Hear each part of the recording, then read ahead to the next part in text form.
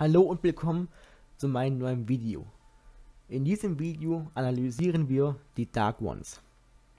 Eine gegnerische Fraktion aus dem Anime Bleach. Und ich hoffe, euch wird die Analyse gefallen. Bevor es mit der Analyse losgeht, gebe ich noch ein paar kleine Hintergrundinformationen preis. Der Anführer der Gruppe ist Ganryo, der meines Wissens nach entweder eine Seele oder eventuell sogar ein Shinigami war, aber da bin ich mir noch im Unklaren. Jedenfalls gehörte seine Familie zu den noblen Familien in der Soul Society, aber sind durch grausame Verbrechen in Ungnade gefallen und schon seit tausend Jahren dafür im Tal der Schreie verwandt, wo sie sich eine Gruppe von Seelen namens Blanks untertan gemacht haben. Ihr Ziel ist die Zerstörung der Soul Society. Letzten Endes wurden sie jedoch von den Shinigami und von Ichigo Kurosaki ausfindig gemacht und besiegt. Der erste Kritikpunkt ist die Struktur der Organisation, wo ich der Gruppe aber nur einen von fünf Punkten geben kann, da wenn überhaupt nur eine sehr einfach gehaltene Struktur besteht. Der Anführer der Gruppe ist Ganryo und wenn man so will, auch der einzige, der einen höheren Rang hat oder eine höhere Befehlsgewalt. Die nächsthöheren sind die Dark Ones an sich. Sie sind entweder normale Soldaten oder normale Untergebene oder Unteroffiziere. Anschließend kommen die Balance, wenn man die überhaupt jetzt dazu zählen darf, die dann die Dark Ones als Soldaten ablösen. Aber da sie keine Seel äh, Shinigami oder menschlich aussehenden Seelen sind, sondern eher so weiße Geister, wenn man das so sagen darf, werde ich sie nicht hinzuzählen. Daher nur ein Punkt, da es einfach kaum Struktur gibt oder wenn überhaupt eine sehr sehr einfache, was aber leider Gottes auch damit zusammenhängt, dass die Gruppe an sich nicht gerade groß ist. Als nächsten Punkt haben wir die Fähigkeiten der Dark Ones. Dort muss ich ihnen leider auch nur einen Punkt geben, weil sie an sich sehr unterentwickelte Fähigkeiten haben. Wenn überhaupt. Denn bis auf Ganryu haben sie an sich keine Fähigkeiten, die jetzt großartig mit Shinigami oder Aranka-Fähigkeiten mithalten könnten. Oder Bound-Fähigkeiten. Sie, sie haben kein, keine Hochgeschwindigkeitstechnik. Soweit ich weiß, können sie kein Kido benutzen. Sie haben letzten Endes nur ihre Waffen und die Kraft ihrer anscheinend limitierten Körper. Besser gesagt, die limitierte Kraft, die sie durch ihre Körper überhaupt aufbringen können.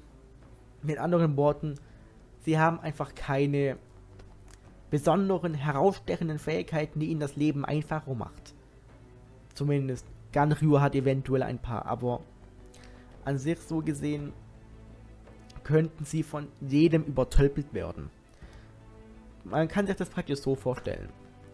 Die Dark Ones sind an sich auf dem Niveau eines Menschen, okay, deutlich drüber, aber bei weitem unter dem Niveau eines Bound oder eines Aranka oder eines Hollow, weil man merkt halt einfach, dass sie im Vergleich zu anderen später auftretenden Fraktionen extremst limitiert sind. Sie, sie können zwar mit ihren Waffen umgehen, aber man merkt halt einfach, dass sie ihre Kraft nicht steigern können. Man merkt halt einfach, dass sie sich nicht durch Techniken extrem schnell bewegen können. Sie können gerade noch so fliegen, soweit ich weiß. Oder zumindest, ja doch, das können sie glaube ich noch, ja, schweben können sie noch. Aber trotzdem, im Vergleich zu anderen Fraktionen, die es im Bleach gibt, sind die einfach total unterentwickelt, was Fähigkeiten angeht. Deswegen nur ein Punkt. Als nächsten Punkt haben wir die Kampfkraft. Auch dort gibt es leider nur läppische 2 Punkte von 5. Aber immerhin noch besser als bei den vorigen Kritikpunkten. Jedenfalls, wie so eine Kampfkraft von 2 Punkten. naja, das liegt vor allem daran, sie sind, sie haben kaum Struktur.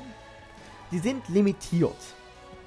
Aber man muss bedenken, dass sich zum Beispiel Benin mit Säufern angelegt hat und sie sogar eine kleine Zeit lang noch in Schach halten konnte. Man merkt einfach, dass sie nicht gerade unfähig sind. Und man muss bedenken, dass sie sich auch mit eben letztendlich auch mit Captain ähm, Klasse Shinigami angelegt haben.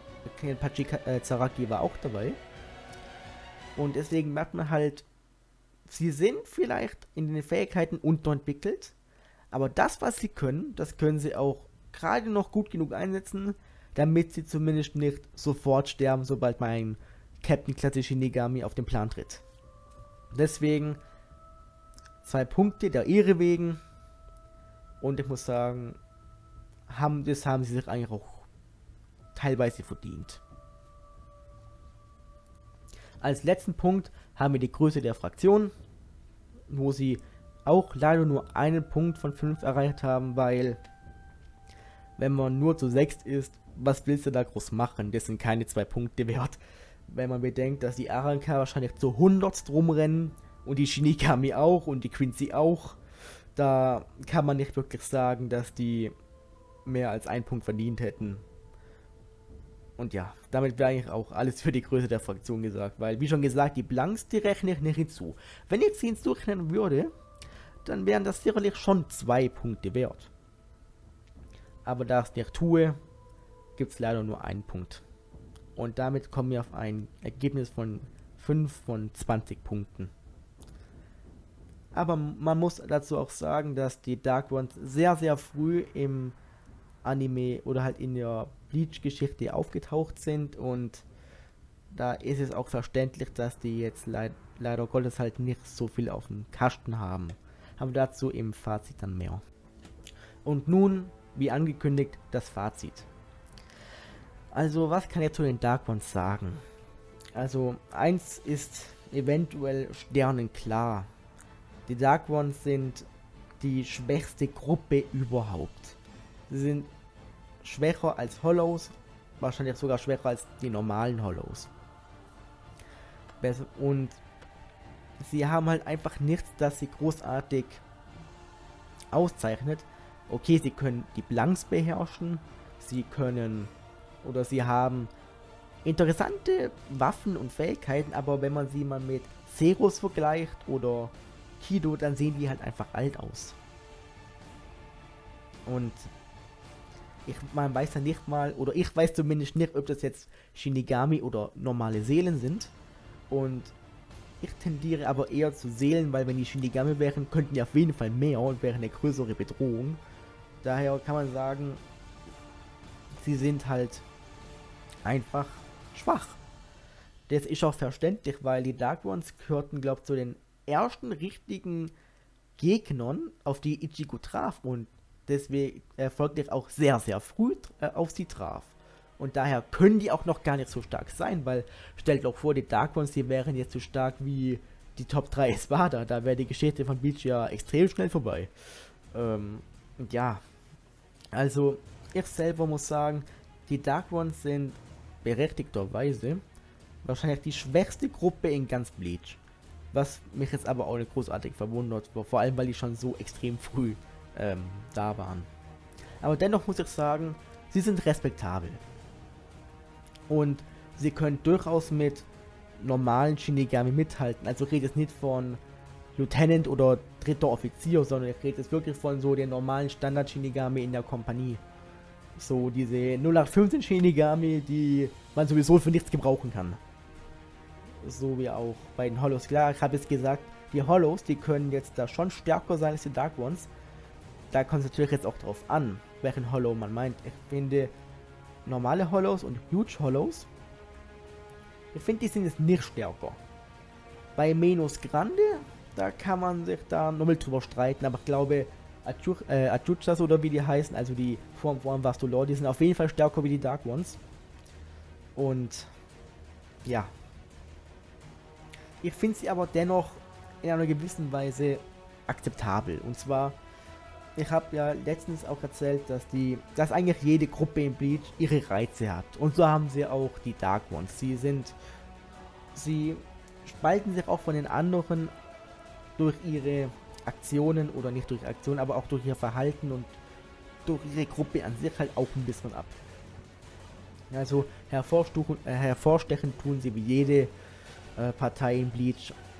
Aber naja, dennoch. Das war es eigentlich mit dem Fazit in dem Video. Wie gesagt, 25 Punkten. Die wahrscheinlich schwächste Gruppe in Bleach.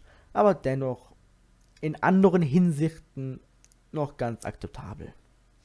Ich bedanke mich fürs Zugucken und man sieht sich beim nächsten Mal. Auf Wiedersehen.